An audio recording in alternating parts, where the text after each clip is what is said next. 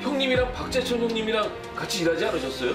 그 형님도 형님하고 똑같이 파킨슨 병 걸려가지고 산업재 그거 신청해가지고 한 달에 얼마씩 받는다더라고요. 산업재 신청하면 뭐 나오지 않을까요?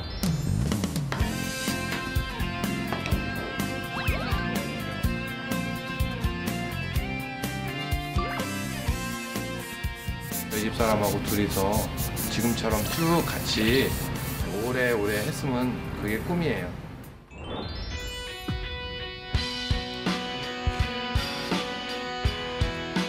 살이 찌니까 몸 움직이기가 너무 힘들어요.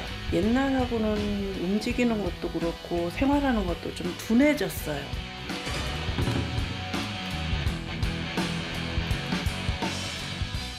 거꾸로 먹으면 나중에 그 포만감이 유지가 되고 지속적으로 돼서 많이 먹거나 하진 않더라고요.